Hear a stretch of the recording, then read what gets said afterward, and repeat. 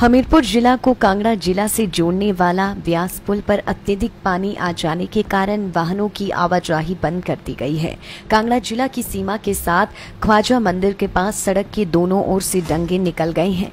आलमपुर जिला कांगड़ा पुलिस ने पुल के ऊपर वाहनों की आवाजाही के साथ पैदल आवाजाही पर भी रोक लगा दी है। एक तरफ़ बैरिकेडिंग करके लोगों को सुरक्षा, एहतियातन के मद्देनजर पुल के ऊपर से आवाजाही करने को मना किया जा रहा है। उधर दूसरी तरफ़ से सुजानपुर, हमीरपुर मुख्य मार्ग, नोहली पर भी खतरा मंडरा गया है। सुजानपुर प्रशासन ने सुरक्षा, एहतियातन के मद्देनजर कार्रवाई शुरू कर दी है। लाइफ टाइम्स टीवी के लिए सुजानपुर से गौरव जैन की रिपोर्ट।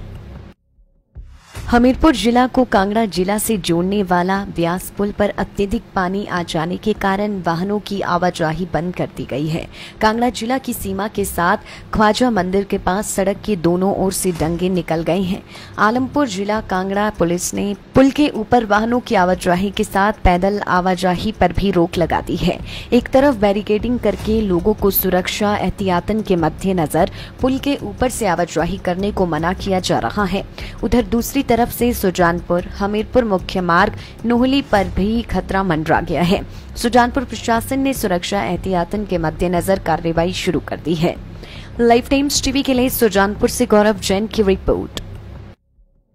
हमीरपुर जिला को कांगड़ा जिला से जोड़ने वाला ब्यास पुल पर अत्यधिक पानी आ जाने के कारण वाहनों की आवाजाही बंद कर दी गई है।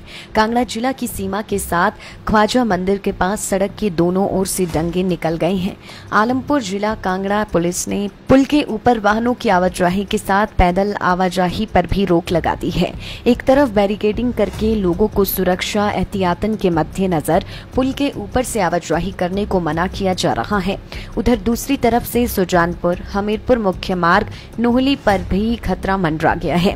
सुजानपुर प्रशासन ने सुरक्षा एहतियातन के मद्देनजर कार्रवाई शुरू कर दी है। लाइफ टाइम्स टीवी के लिए सुजानपुर से गौरव जैन की रिपोर्ट।